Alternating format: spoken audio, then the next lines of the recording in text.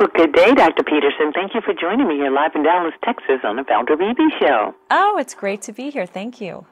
Well, I like talking to you because your topics are always about my audience. You want to help us stay healthy. What can you help us with, especially over the holidays?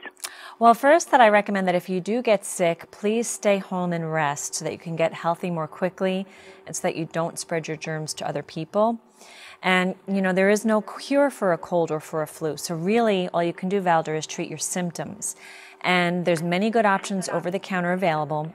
I happen to like two good options are Vicks Dayquil and NyQuil Severe because they treat multiple symptoms and they have a maximum strength amount of medicine. So they have acetaminophen for aches and fever, they have dextromethorphan for cough and phenylephrine for congestion. So you get a lot of bang for your buck with that.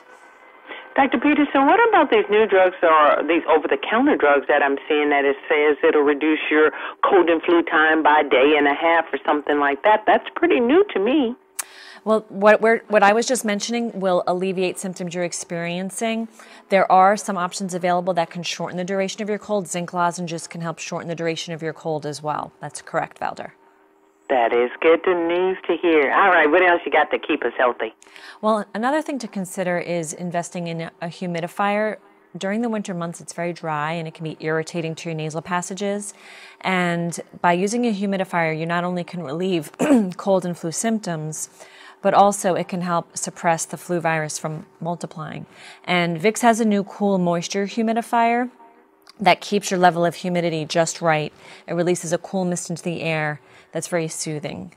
So it's and this t- is a humidifier like we used to use with our children, perhaps? You know, we always think of humidifiers as being associated with our kids, but they, they work for adults too, and even consider putting one in your office because they, they do help make you feel a little better if you're sick. And, and the last thing, Valder, I, I recommend is to be prepared. So wash your hands regularly, Carry a hand sanitizer in case you don't have access to soap and water, and carry tissues on you that are a bit more soothing if you do have a runny nose. So, for example, Puffs Plus lotion will soothe your irritated skin and it locks in moisture better than regular tissues. And then, lastly, try to avoid stress and get lots of sleep. I'd love you to come back and talk about what stress does because I hear it more and more and how it is impacting our body and our diseases and our immune system.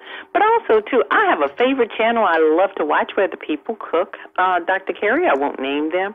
And no one ever washes their hands before they get to the table. Is that appropriate?